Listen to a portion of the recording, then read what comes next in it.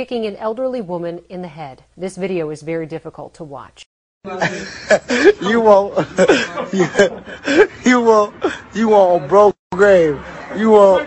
You won't on Norier. On Norier. Curry boys.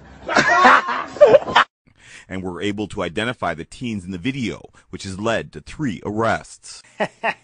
I guess it's high time that I explain what's going on here, huh? I'd say it's your last chance. Sorry, Marshall Cotton. Joe Reagan. Oh, Joe Reagan, you're Irish. Mm. Are you a drinker, Joe? Are you buying? You cannot play second base with an outfielder's glove. Well, it's not like I can afford to buy her a new one. And you want to know why? Because you are late for your child support payment. That should be fine. Uh, yes.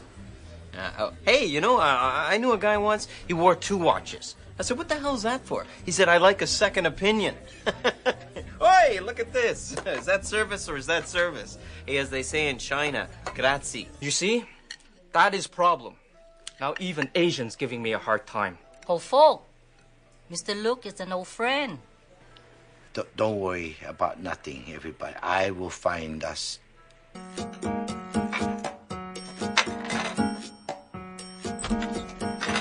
Uh, one's luck can be changed if you move furniture around. Feng Shui will fix all of that for you. I can go home and change. Oh no, please, uh, sit down. Get out of here before I rearrange your face the way you've arranged my office! Hey, I don't take that from you.